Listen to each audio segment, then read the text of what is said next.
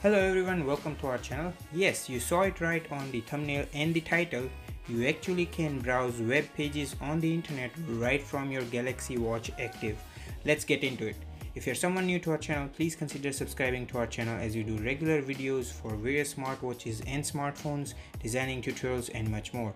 Also check out our playlist tab to find curated playlist for various content we post on this channel where you'll find a playlist exclusively for Galaxy Watch Active. Be sure to check it out.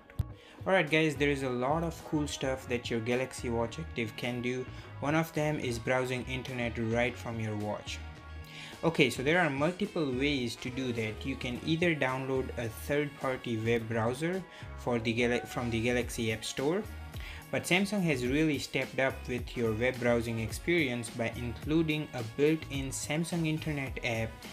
The icon of this app is just like the Samsung Internet app on the Samsung smartphone, as you can see here by the way guys this is our amazon storefront where you can find awesome deals on various smartwatches and accessories.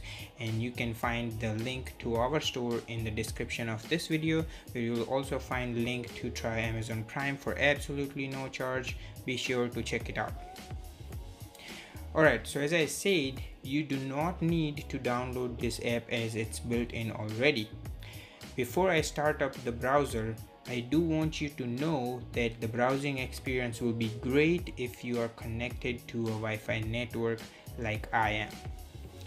It would work via Bluetooth but you do not want to do that as it will be super slow and laggy.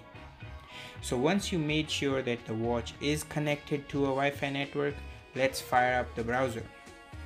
This browser is also built in for Samsung's uh, other smartwatches like Galaxy Watch Active 2 and other smartwatches. Once opened, you will see all your bookmarks and option to search on Google. Let's go ahead and open a web page. In my case, I'll open up our Amazon storefront and see how fast it opens and how's the viewing experience and interaction with different elements. So unlike a mobile phone, the page loading speed is not that fast. Keep in mind this page has already been cached. That is I have opened this page in the past on this watch so it must load faster than a newer fresh web page. Right away it converts a desktop page to a mobile version for better viewing experience. And to me this is pretty cool.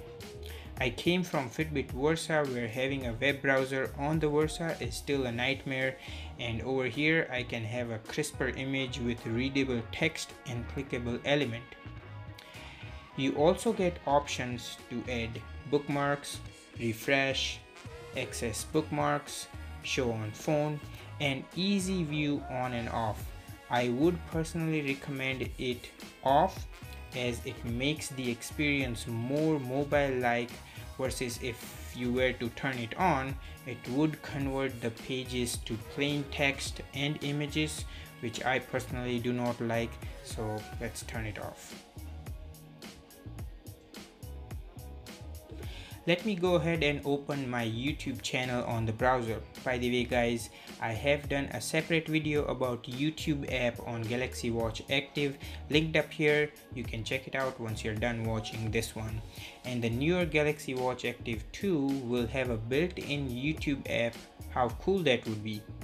To be honest, the browsing experience is pretty decent and satisfactory.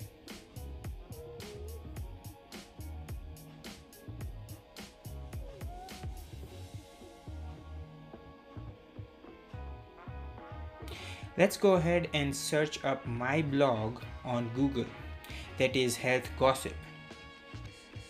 I tend to type it up with the keyboard which works the best for me as the Google voice to text does not pick up all the time what I have to say.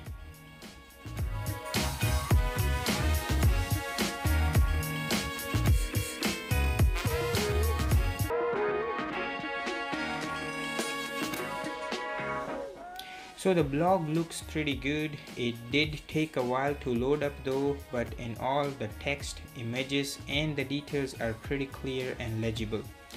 you can zoom in with two fingers and do the opposite to zoom out and you can drag from the corners to the center to have a clear view of the corner in case if you have to do that as you saw earlier as well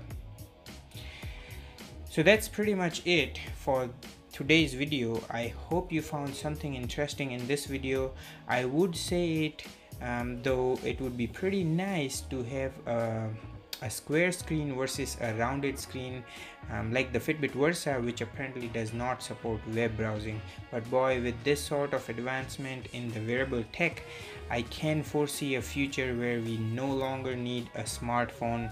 Let me know in the comments down below your thoughts about it so I really hope you found this video helpful. If you did, then please give this video a thumbs up and maybe give it a thumbs up anyways as an appreciation to our effort for making this video. It really means a lot.